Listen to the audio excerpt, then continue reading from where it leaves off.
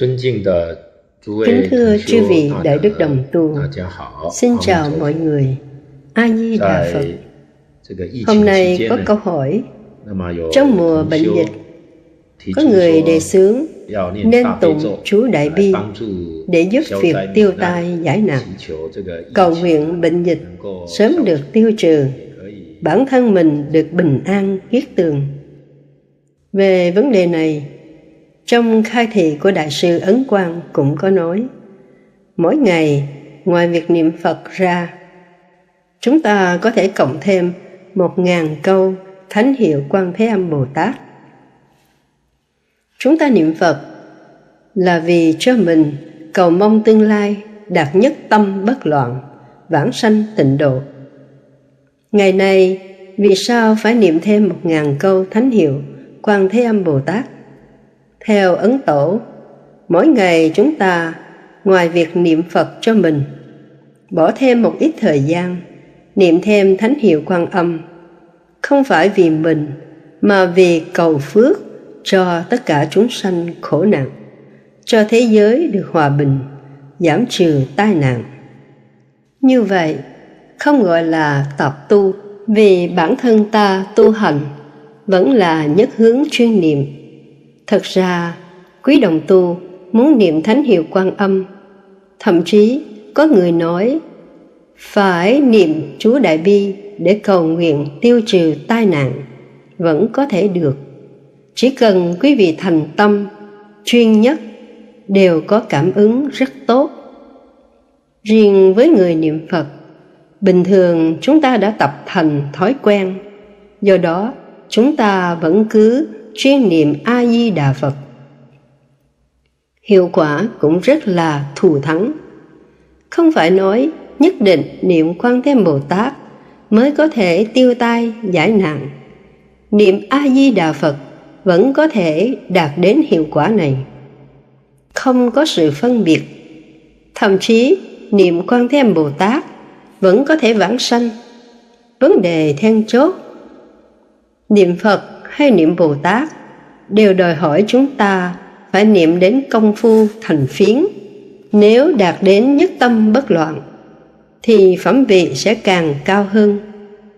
Trong đây có một điều cần phải lưu ý là niệm A Di Đà Phật không cần hồi hướng. Vì sao vậy? Vì niệm A Di Đà Phật chính là bạn đang cầu vãng sanh thế giới cực lạc rồi. Còn niệm thánh hiệu của chư Phật Bồ Tát khác đều phải thêm phần hồi hướng. Chỉ khác có điểm này thôi. Ngoài ra không có gì khác nhau cả. Bình thường có người niệm Quan Thêm Bồ Tát hoặc Địa Tạng Vương Bồ Tát mà muốn vãng sanh thế giới cực lạc đều phải hồi hướng cầu sanh tịnh độ. Về nguyên tắc tu trì, chư Cổ Đức đã từng nói với chúng ta rằng niệm kinh không bằng niệm chú, niệm chú không bằng niệm Phật. Đương nhiên bao gồm cả thánh hiệu Quan Thế Âm Bồ Tát. Thật ra, vấn đề thọ trì, đọc tụng càng ngắn càng tốt, dễ thọ trì, cảm ứng đặc biệt thù thắng.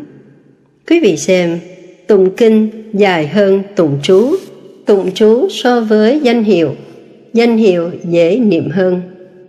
Cho nên càng ngắn càng tốt. Hơn nữa, trong kinh Vô Lượng Thọ, Phật Thích Ca Mâu Ni cũng khuyên chúng ta rằng trong thế gian, nếu các thiện nam tử, thiện nữ nhân gặp tai nạn nguy cấp, khủng bố, quay về nương tựa Bồ Tát Quan Thế Âm đều được giải thoát. Cho thấy duyên phần của chúng ta với Quan Thế Âm Bồ Tát rất sâu dày. Nên Phật Thích Ca Mâu Ni đặc biệt nhắc nhở chúng ta khi gặp nạn nên niệm danh hiệu của Ngài sẽ được lợi ích to lớn là được Ngài đến cứu khổ, cứu nạn cho chúng ta thoát ly khủng bố, hóa giải tai nạn.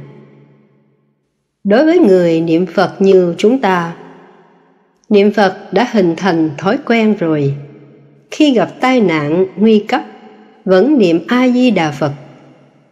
Riêng những người lúc bình thường chưa có thói quen niệm phật họ có thể niệm quan thế âm bồ tát cảm ứng vẫn là bất khả tư nghị. Nói đến vấn đề công đức của việc chuyên niệm lúc bình thường chúng ta đã quen niệm a di đà phật rồi chúng ta niệm phật dễ đắc lực hơn. Nếu bỗng dưng đổi sang niệm những kinh, chú hoặc danh hiệu khác, sẽ khó mà đắc lực. Trong quá khứ, có một câu chuyện về một vị lạc ma.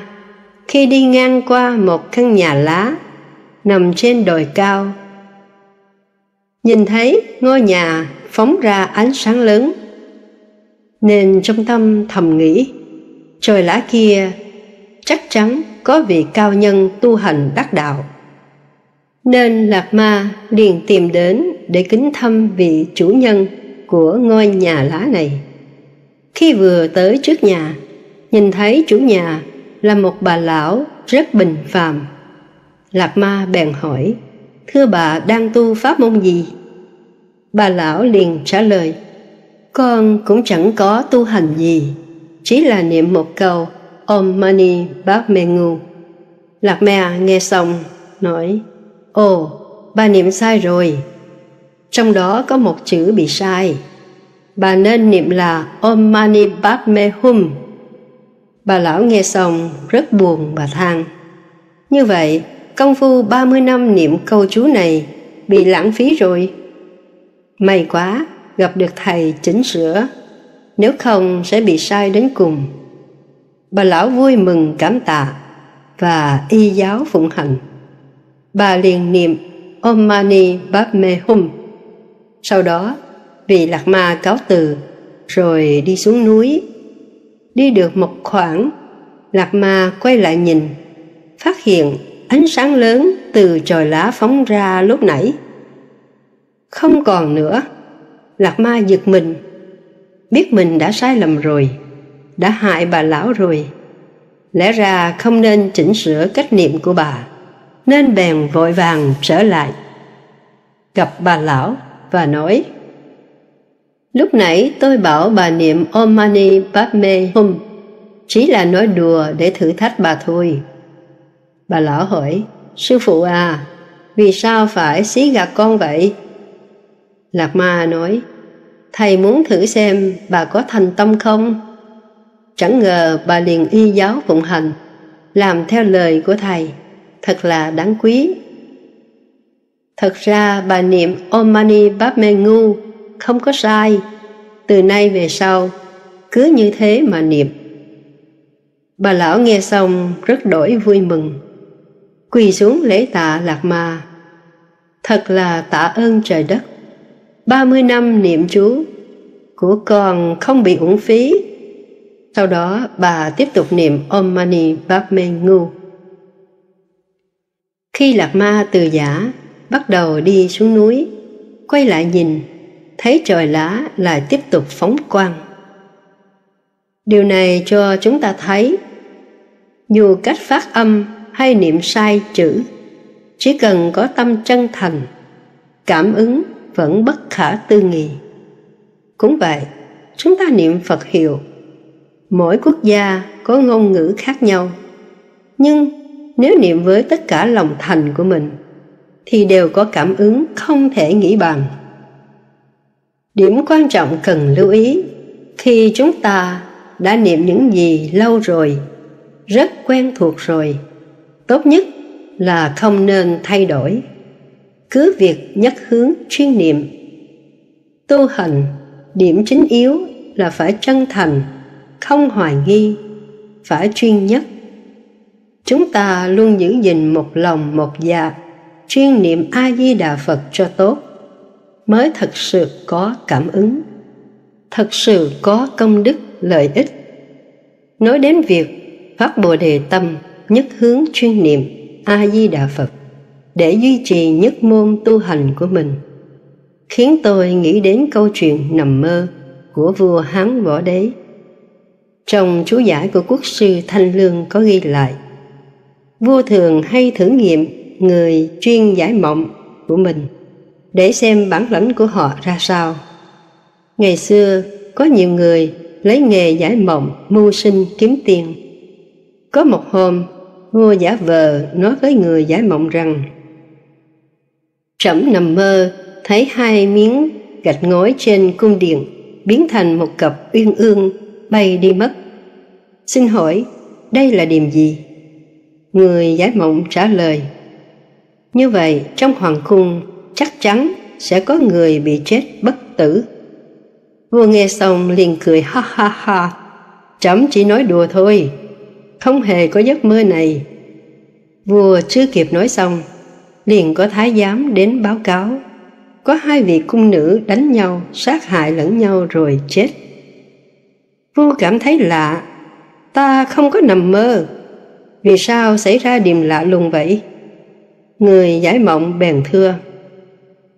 Nằm mơ gọi là thần du, nghĩa là khi chúng ta mơ là lúc linh hồn của chúng ta làm việc.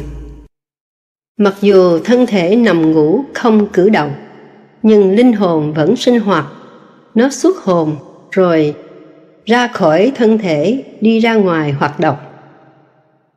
Những gì trong tâm bệ hạ nghĩ tưởng, đó cũng là mơ.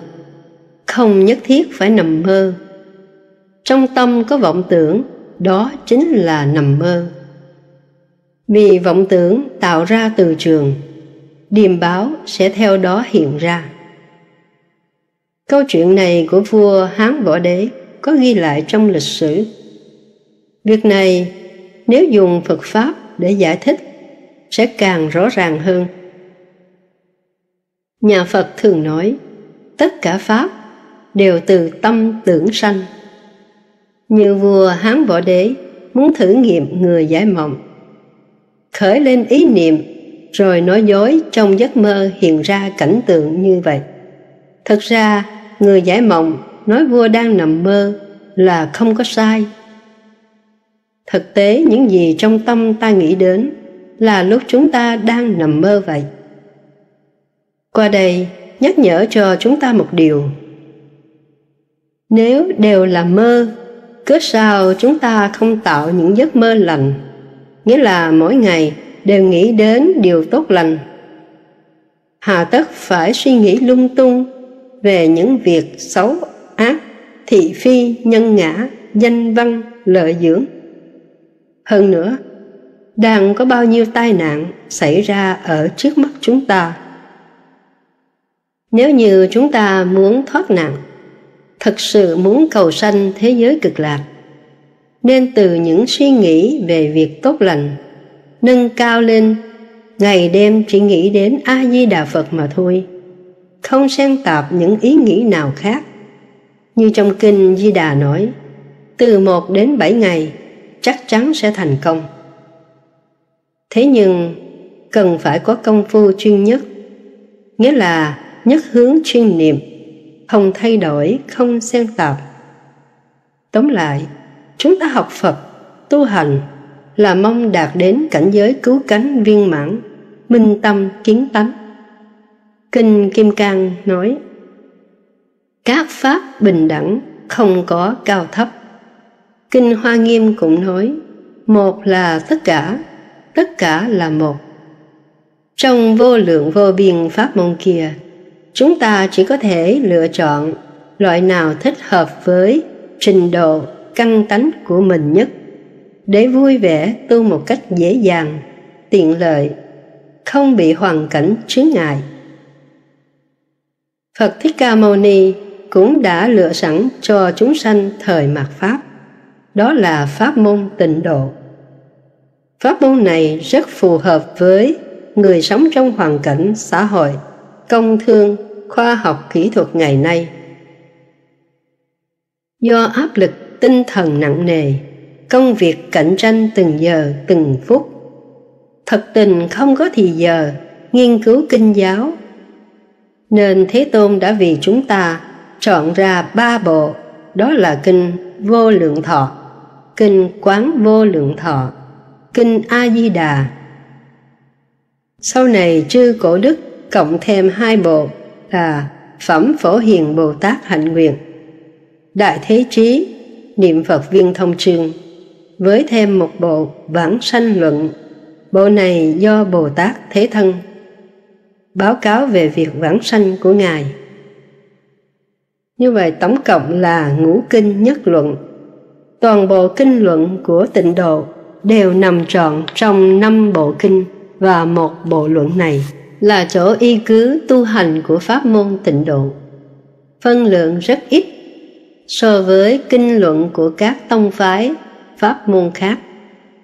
Do đó, dễ dàng, đơn giản cho những người bận rộn tu hành. Nếu quý vị cảm thấy ngũ kinh nhất luận vẫn còn nhiều, bạn chỉ cần chọn một bộ trong đây để tu là có thể thành tựu. Thậm chí như kinh Đại Thế Chí, Niệm Phật Viên Thông Chương là ngắn nhất, chỉ có 244 chữ, càng dễ dàng, càng đơn giản hơn. Thực sự là chúng ta nhờ chư Phật Bồ Tát từ bi mở đường tiện lợi cho chúng ta tiến bước. Chỉ cần chúng ta một lòng một dạ, nhất môn thâm nhập, trường kỳ huân tu, không lý nào không thành công. Hà huống với pháp môn tịnh độ, chỉ cần niệm Phật cho tốt, có thể đới nghiệp vãng sanh, không cần đoạn phiền não, là có thể về thế giới cực lạc rồi. Mặc dù hiện giờ chúng ta chưa minh tâm kiến tánh, nhưng chỉ cần chúng ta về được thế giới cực lạc, gặp được Phật A-di-đà, lo gì không khai ngộ. Đây thật là điều may mắn cho chúng ta trong việc tu hành đã tìm ra được một pháp môn đơn giản nhất, dễ dàng nhất, tiện lợi nhất, yên ổn nhất và ngay ở hiện tại là có thể nắm bắt được phần thành tựu. Hy vọng mọi người cố gắng giữ vững niềm tin mà tiếp tục nỗ lực tiến bước. Xin cảm tạ mọi người. A Di Đà Phật.